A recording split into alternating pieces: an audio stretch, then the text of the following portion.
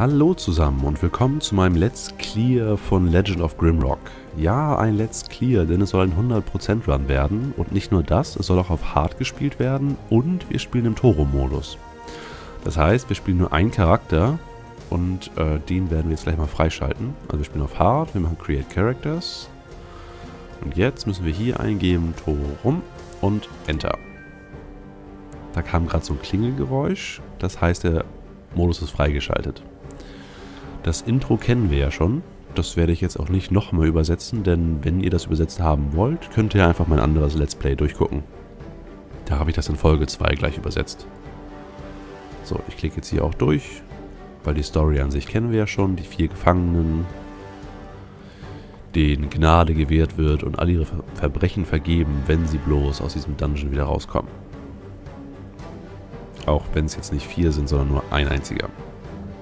Außer er wurde mit drei anderen runtergeschmissen und die sind beim Fallen gestorben. Aber dann müssten sie hier irgendwo rumliegen. Und das tun sie nicht. Also, wir haben jetzt hier unseren Torum. Der hat recht gute Stats. Hat drei Fähigkeiten, nämlich einmal mehr Lebenspunkte, drei mehr Skillpunkte und er ist sehr, sehr schnell. Und wenn ich sage sehr, sehr schnell, dann bin ich sehr, sehr schnell. Was ein sehr cooles Feature ist. Also ich habe ja schon mal reingeguckt, testweise. Und das macht irre Spaß. Also man kann damit sehr schnell die Secrets finden und hier die Wände abklappern nach Schaltern, solange das Gehirn das mitmacht. Ähm, aber ich weiß nicht, wie angenehm das für euch ist, weil das rast halt alles recht schnell vorbei. Aber na gut, wir haben das erste Secret schon gefunden, haben die Lurkerschuhe und wir brauchen trotzdem eine Fackel, damit wir ein bisschen mehr Licht haben. Und da es ein 100% Run werden soll, werde ich mich jetzt immer schön umgucken, ob ich irgendwo irgendwas übersehe. Und falls ich irgendwas übersehen sollte, dann schreibt mir bitte, bitte Kommentare. Denn ohne eure Hilfe wird das bestimmt garantiert kein äh, 100% Run. Ich habe das ja in dem ersten Playthrough schon versucht, einigermaßen ausgiebig zu machen und trotzdem haben wir irgendwie 50 von 70 bekommen. Was nicht schlecht ist, aber es geht auf jeden Fall besser. So, zwei Fackeln. Was ich an diesem Toro-Modus nicht ganz so gerne mag, ist die Wahl der Skills. Also klar, Rüstung ist super, da können wir gleich mit 8 Punkten leichte Rüstung tragen. Äxte 5 Punkte ist auch schön und gut. Wozu ist dann nur der Schwertskill, wenn man eh schon 5 Punkte in Äxte hat? Also das hätten sie weglassen können. Und die beiden Magieschulen, die man zur Wahl hat, sind Erde und Feuer. Wobei in Erde schon 5 Punkte reingelegt wurden. Äh, obwohl, ich glaube, 40 oder 50 Prozent der Gegner resistent sind gegen Erdmagie. Ja, das heißt, man könnte dann Feuermagie skillen. Ähm, da müsste man aber ganz von vorne reinfangen, äh, anfangen. Hat keine 5 Punkte wie in der Erdmagie. Und es äh, ist halt fraglich, ob sich das lohnt. Denn ein Charakter, der Feuerbälle schmeißt, reicht der an Schaden? Weiß ich halt nicht. Meine Taktik war jetzt eigentlich eher, wir setzen alle Punkte, also wirklich alle Punkte auf Äxte, damit er richtig schön viel Schaden macht. Und da wir so schnell sind, können wir immer angreifen, zurück, angreifen, zurück. Das einzige Problem, was wir dann haben werden, ist gegen Gegner, die in Gruppen auftreten. Wie die Legionäre zum Beispiel oder die kleinen grünen Viecher. Das könnte dann schon problematisch werden. Also vielleicht doch auf Feuerball skillen? Ah, ich weiß es nicht.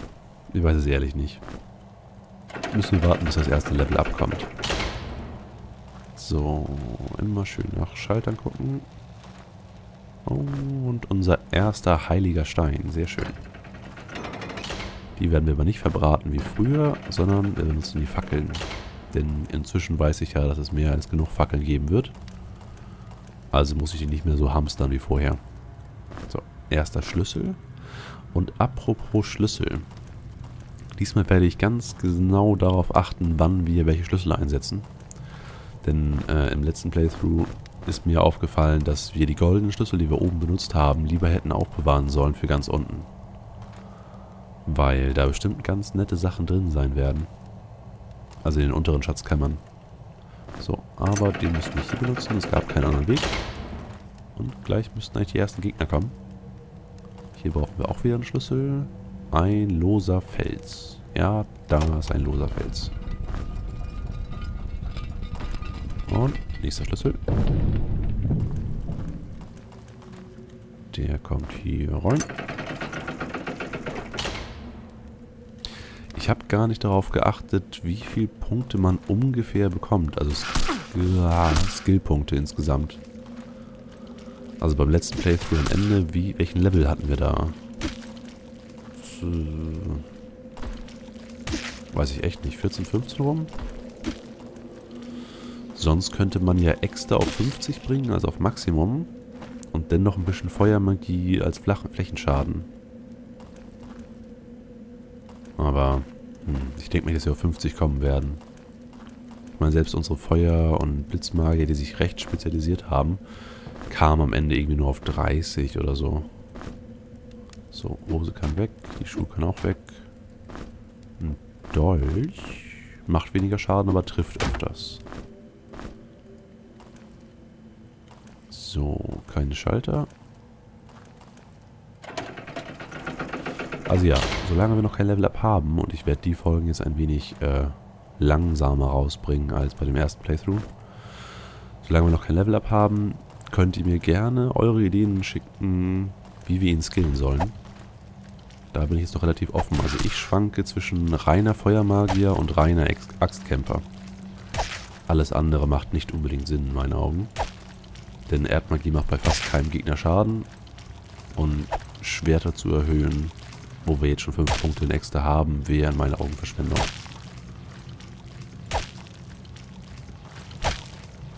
Das läuft echt gut mit dem Schnelllaufen. Jetzt hätte ich nur ganz gerne die Fähigkeit, auch schneller angreifen zu können. Wie man das als Dieb zum Beispiel bekommt. Aber naja. Und auf das Essen sollen wir auch achten, das, was für ein Gewicht das hat. Denn wir haben teilweise ja recht viel schweres Essen rumgeschleppt. So, Fackel kommt wieder mit. Nach Schaltern wird geguckt. Und noch mehr Schnecken. Ja. Bis du dich gedreht hast, haben wir schon zweimal geschlagen. Naja, nicht so ganz. Aber ich denke mal, dadurch, dass ich mich jetzt so schnell bewegen kann, werden die Kämpfe noch ein bisschen hektischer. Zumal muss ich mich auch schnell bewegen. Und ich muss wirklich lernen, wann die Gegner angreifen und dann im richtigen Moment weglaufen. Jetzt zum Beispiel. Also wenn die Animation kommt, dann hat man noch Zeit auszuweichen. So. Ja, das ist ein guter Zeitpunkt. Erinnert ein bisschen an Anvil of Dawn. Wo man auch immer vor und zurück läuft, um keinen Schaden zu bekommen. Apropos Schaden bekommen. Was bringt denn Schwerter noch? Es bringt mit 16 5% mehr Ausweichen, wenn man ein Schwert trägt. Das ist schon mal ganz nett. Und mit 50 doppelte Angriffsgeschwindigkeit mit Schwertern. Wie ist das bei Äxten?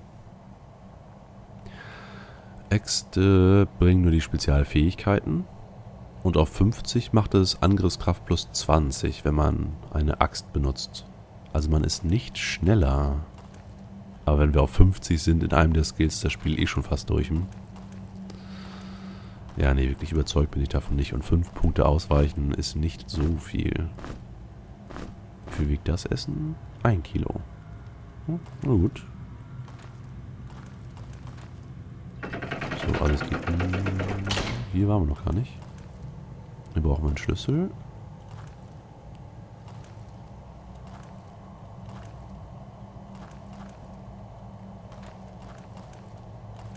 Nur mehr Essen. Eine Marder am Stock wiegt 1,1 Kilo. Noch ein Heiligenstein. Sandal mit nur einem Schutz bringt gar nichts.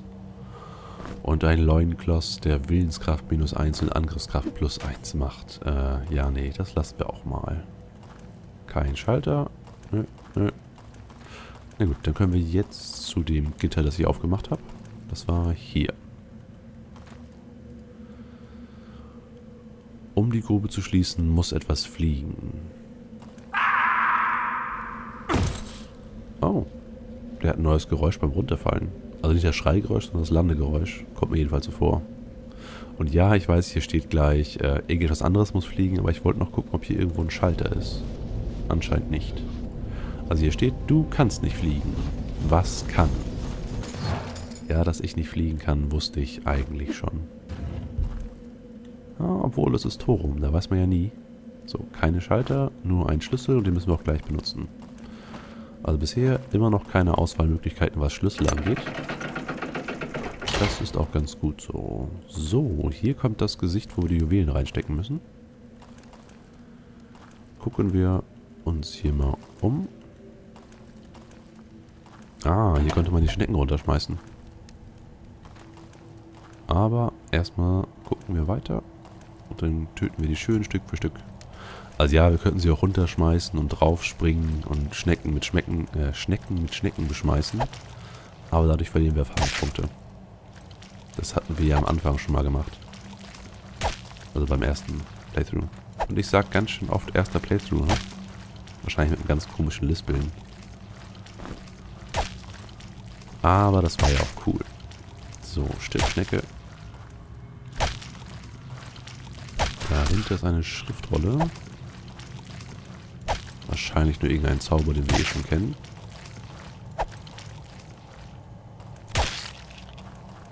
So, und ich würde echt gern... Ach, noch einen Lendenschutz. Was zu essen. Und ein Umhang. Aber ja, ich hätte echt gerne eine Axt. Feuersbrunst braucht man nicht.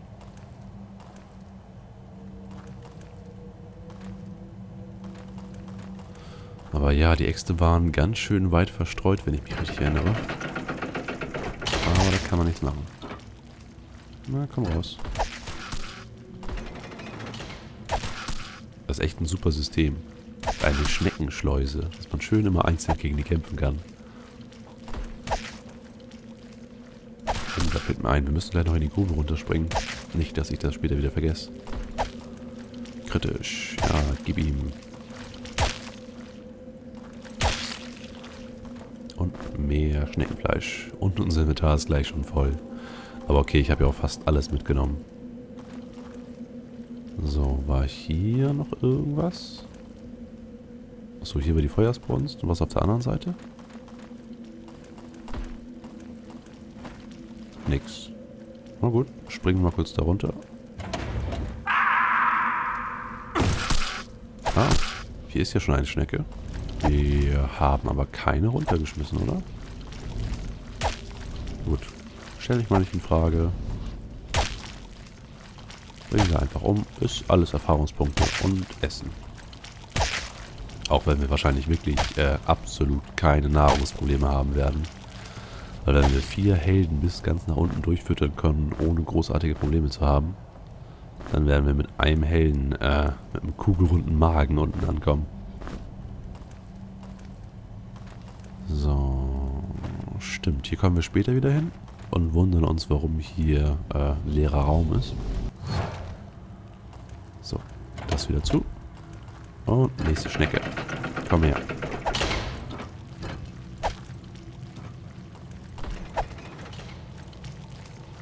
Ching.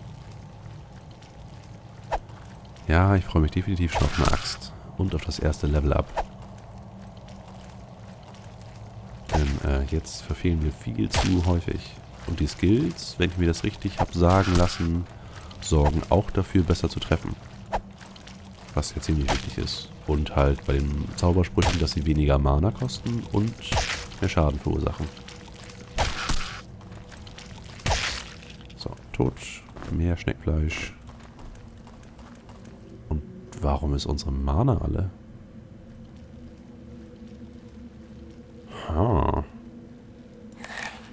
Schlafen wir mal kurz. Habe ich jetzt gar nicht so drauf geachtet. Ach, ich glaube, die normalen Angriffe verbrauchen auch Energie. Nur normalerweise haben wir nicht so schnell dann gekämpft, weil wir uns halt nicht so schnell fortbewegen konnten. Also noch etwas, auf das wir achten müssen.